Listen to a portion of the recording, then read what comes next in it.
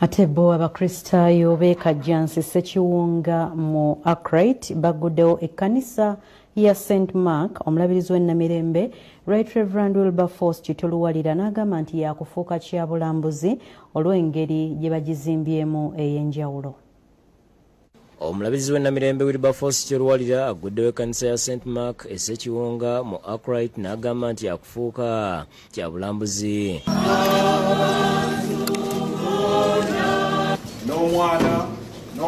n'omwoyo omutukuvu mwana n'omwoyo omutukuvu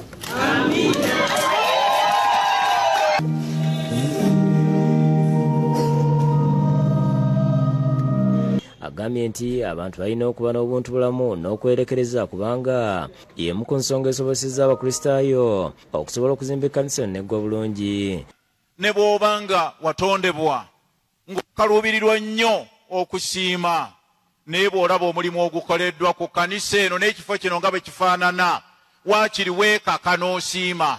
Kubanga omulimu guno gwa ttendo. Bannange mwebale nnyo mwebalire eddala asimbye abaagaliza ennaku enkulu ennungi n'okumalako bbiri abirimu ebiri obulungi nga balaga abantu obulungi bwa katonda n'obujulizi.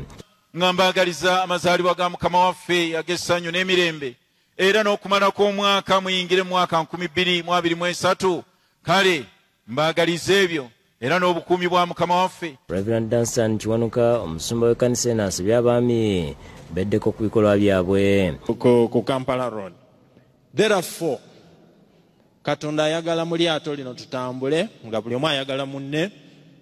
Nga tewali ebyo nti gundi bwati nti gundi bwati gundi bwati fena tuli ki kyekimu minisita w'amasannyalaze n'obugagga obw'omutaka ruth nankabirwa omu kubasabira mu kanisa eno agambye nti basanyufu okulaba nga basobodde okugimaliriza. Beja mu kitiibwa ky'omukama. Ebe ng'ogenda onoonya ekkanisa ekugyamu mwebalaba senti maako okulaba nti eno.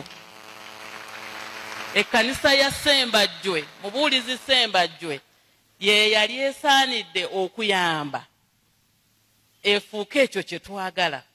Oluvannyuma batuyite embuga yonna gye banaatuyita. Sebwakidikoni tujja kusalyutinga